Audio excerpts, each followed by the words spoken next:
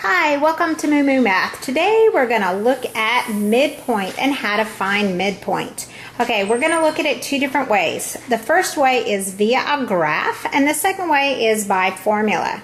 Okay, let's look at the graph. I've graphed the point negative 2, positive 2, and the other point 2, negative 1. And we're going to find the midpoint of the segment. Well, if I connect these two points together, I can kind of estimate my midpoint's going to be about here, isn't it? That's a midpoint just means halfway. Now I'm going to show you graphically how to do this. I'm going to draw a right triangle. So I'm going to take the point A and I'm going to dot it down until I get even with point B. Then I'm going to go across until I get over to point A. Now I've created a right triangle. This side over here is three units. This side is one, two, three, four units. I'm going to take half of each side, so half of three is one and a half, and half of four is two. So I take half of each side, and I go one and a half here, and two here, and then I see where those two meet, and that gives me my midpoint. There you go. So I've created like a little rectangle inside of this right triangle. That's the graphical way, if you like graphs.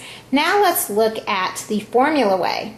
Okay, I've got the point negative 2, 2, and the point 2, negative 1.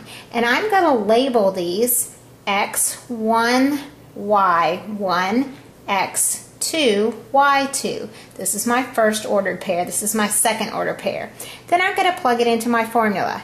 I'm going to take x1 plus x2 and divide it by 2. So I add my two x coordinates together and I divide by 2. So negative 2 plus 2 over 2 is 0 over 2 or just 0. Then I'm going to do the same thing with my y coordinates. 2 plus negative 1 all over 2. 2 plus negative 1 is positive 1. 1 over 2 is just a half.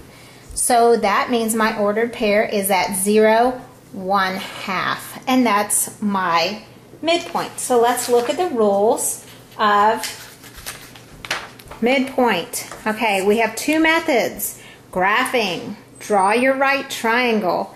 Then find half of each side then you just connect those back to see exactly where that point is. Or the formula.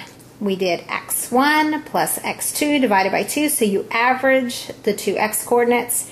y1 plus y2, add those two together to get the y coordinate. Hope this was helpful.